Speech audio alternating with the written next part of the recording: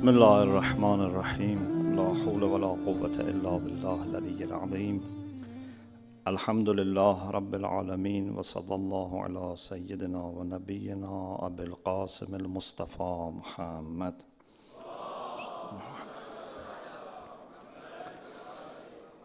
وآله الطيبين الطاهرين لا سيما بقية الله في الأرضين أجل الله تعالى فرجه الشريف وجعلنا من أعوانه وأنصاره. I am grateful to Allah subhanahu wa ta'ala for giving me this blessing and honor to be here to witness a very important step towards unity in our community and to have a little contribution. I hope what has been and is going to be discussed today would be directed by Allah subhanahu wa ta'ala to the best of decisions and practices. Human beings are not able to function as human beings unless they have a clear sense of their identity. So we have to have identity, but we have to have conscious understanding of our identity. If we have any object other than human beings and very maybe exceptional other creatures like jinns and i don't want to now talk about other things but i'm focusing on human beings. In this physical natural ordinary world other than human beings anything any object can function without having any need for understanding itself, where it comes from, what is the current situation, what's going to happen in future, and what type of relation it has to build with everything around and far. If we have here a machine, if we have here a piece of wood or stone, if we have here water or air,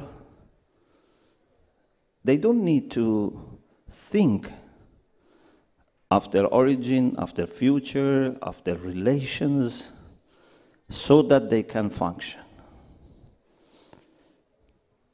We need, as human beings, to be aware of all these things so that we can function properly.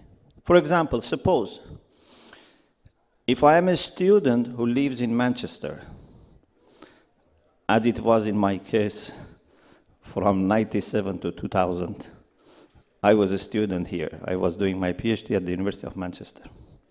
So if at that time that I was a student here, I was not conscious of being a student.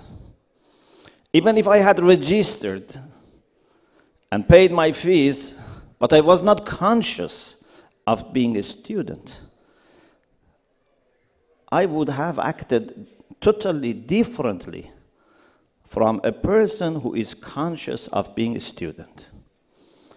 Or, even if I was conscious of being a student, but I was not putting this aspect of my identity in its due place and I would have considered it as the last thing that matters to me, although I am conscious of it. Maybe till now I was studying here. So I had to be conscious of this, and I had to put it in the right place in the list of my priorities. Not higher than it needed, otherwise, maybe it could cause lots of stress could cause heedlessness towards my other duties and not lower because then I could not do justice to my studies. So human beings need to be aware of whatever relations they have. And then at the same time to decide how to prioritize them. Let me give you another example. If you go to someone's home, based on the books that they have in their library, you get an idea about what type of personality they have.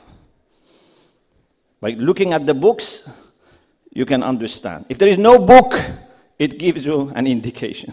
If there are many books, it gives you another indication. And then what type of books that have and how many titles from each category, it gives you an idea that what type of person is this person.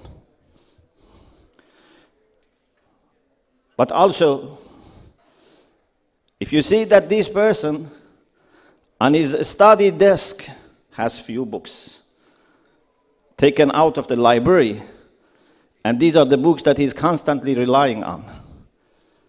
If you see that he has many books, but Quran and Mafati and Nahjul Balagh are here, it gives you another indication. I remember one of my beloved teachers, Ayatollah Ahmad Mianaji Rahmatullah alayh, who used to give us akhlaq lessons.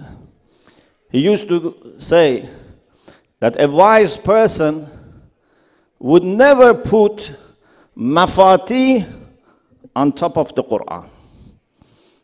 So not only is it important to have Quran and mafati, but not put mafati on the top of the Quran.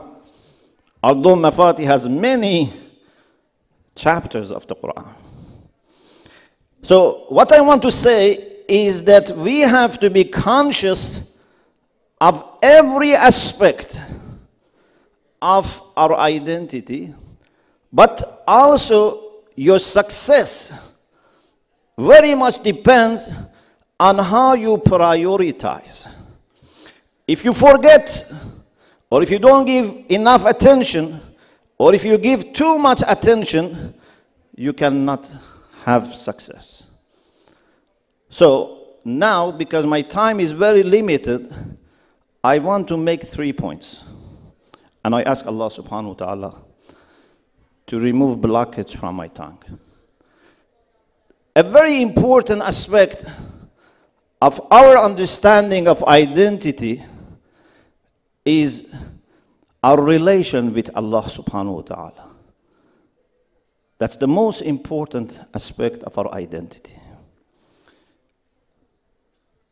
Once I had a conversation with someone about what is the meaning of abd. Who is a servant? And an idea came to my mind. And I very much think that is to be preserved and treasured. So I kept it for myself. I share it with you. If you like it, please feel free to take it with you. I said, a servant is not the one who does certain things or avoids certain things for the sake of God. A servant is not the one who has certain aqaid or practices or even virtues. A servant is the one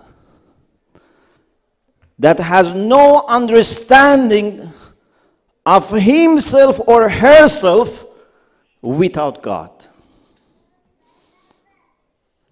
My very understanding of myself is made with my relation with Allah subhanahu wa ta'ala. And therefore, if someone is really a servant, if you ask him, Who are you? or What are you? in both ways, he would say, I am a servant of God. In both ways.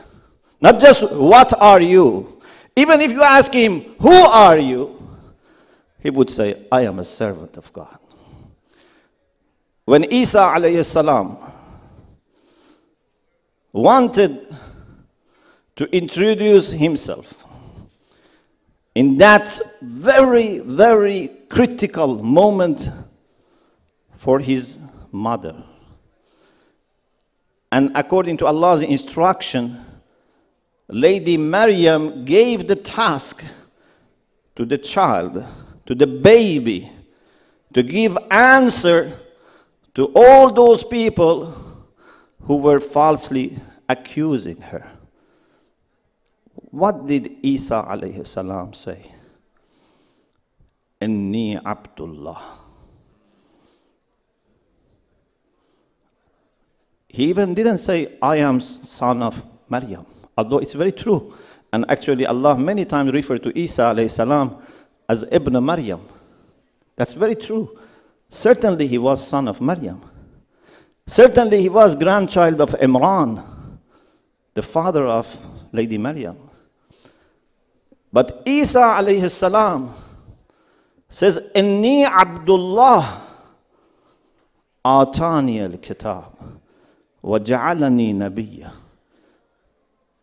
wa awsani bis salati wa zakati ma dumtu hayya wa barran bi walidati wa lam yaj'alni jabbaran shaqiyya Do you see any sense of separation from his Lord, from his master.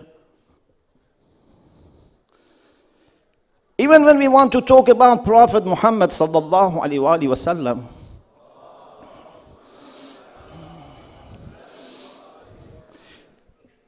we first use his name because it's very easy to refer to him by using his name. Muslims, non Muslims, believers, non believers all know him as Muhammad sallallahu alaihi wasallam. But when we say Ashhadu anna Muhammadan abduhu wa rasuluh, not only we highlight that his great achievement was to be a servant of Allah, but we also declare that in our understanding, the most important thing is to be a servant of Allah. And this gives us direction. We should move to this direction. This is something that needs expansion, but unfortunately, there is no time. I just want to mention a beautiful story and go to the second point. When there was a slavery, and you know how Islam regulated, limited, and eradicated slavery. But he said when there was a slavery, a person went to the market for selling slaves and was looking for a good person to buy. He saw a person that looked interesting, but he had to test. He asked few questions. He said, What's your name? He said, Whatever you call me. What do you eat? Whatever you give me. How much do you eat? You do it a lot because if you eat a lot, I cannot afford. As much as you give me. If you give me nothing, I'm not going to complain, but you will lose your servant. But I'm not going to complain. How much do you sleep? As much as you allow me. He said, This is the best. This has no value, it's invaluable. This is what a true servant of Allah should be. The second aspect of our identity is made by our relation with the community, the community of the faithful, headed by Allah subhanahu wa ta'ala and the Prophet sallallahu alaihi wasallam and our imams and in particular imam of our age Imam of our time. It's impossible for a Shia to have proper understanding of his or her identity without being always conscious of his relation with his or her imam of time. This is not just something that you learn in aqaid and whenever you are asked, you can say who are your imams and who is your imam of age. This is not going to save us from mitat al-jahiliyyah if we just have the name of imam in our stored data in the archive. Our understanding of imam, our love and devotion to imam, and our deep sense of responsibility towards imam is the one that gives us understanding of our own identity. Who can be a good soldier if he forgets his belonging to that camp? And who are his commanders and in what order he received his commands and to whom he should answer? You cannot function as a soldier unless you have all these things always constantly in every second in your mind. Otherwise, you become useless, or maybe even enemies can capture you and use you for their own benefit. So it's very important that we should always remember our belonging to the community. I don't have time, but please refer to my lectures about collective nature of wilaya. And I have given lots of references to show that a Shia would always think of himself or herself as a member of community. We should have mentality of we and not me. There are lots of references there in du'as, in ziyarat, in the Quran. Even in your prayer, and even if you are doing furada, you must recite Surah Al-Hamd, and you must say, Iyaka na'bud, not Iyaka a'bud. Iyaka nasta'in, not Iyaka asta'in. Up to the end, Assalamu alayna, not Assalamu alayya. اللهم إنا نشكو إليك فقد نبينا إن دعاء افتتاح اللهم إنا نرغب إليك إن دعاء ندبة متى ترانا ونراك not متى تراني وأراك there is no way to separate your account from the community there is no way to think of your well-being apart from the community a devout follower of Imam Mahdi would know that his welfare, his prosperity, his success in dunya and akhirah is guaranteed if he puts the community first and not himself or herself first. This is very, very important. And even Allah subhanahu wa ta'ala on the day of judgment, He would not call us by our own personal names or by names of our parents or tribes. Allah subhanahu wa ta'ala will call us by the name of our imams and leaders. To whom you have been answering, for whom you have been working, for Ibrahim or Namrud, for Musa or Fir'aun, for Imam Mahdi Ajalallah Ta'ala Farajahu Sharif, or for others. يوم ندعو كل أناس بإمامهم And there are hadiths about this that I don't have time to mention. So this is very important.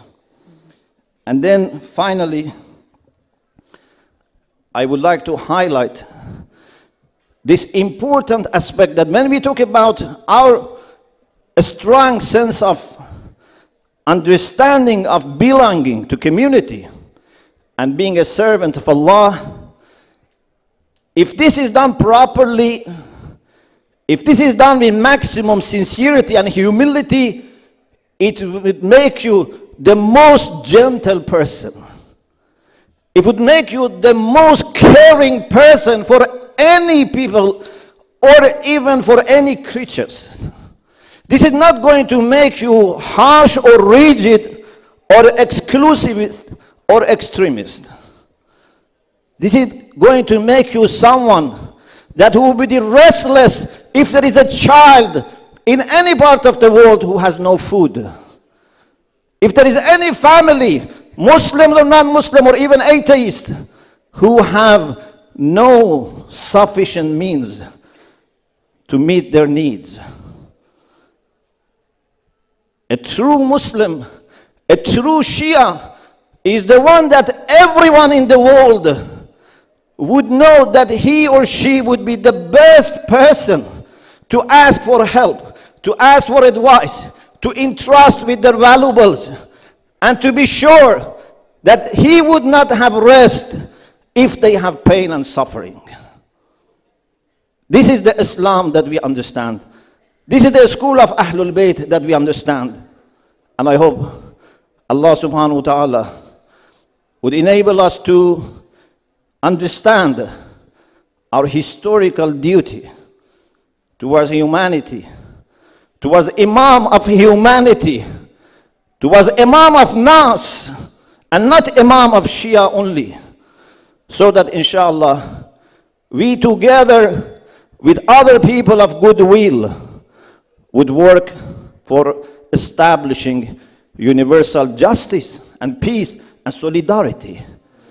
بإذن الله إن شاء الله وآخر دعوانا أن الحمد لله رب العالمين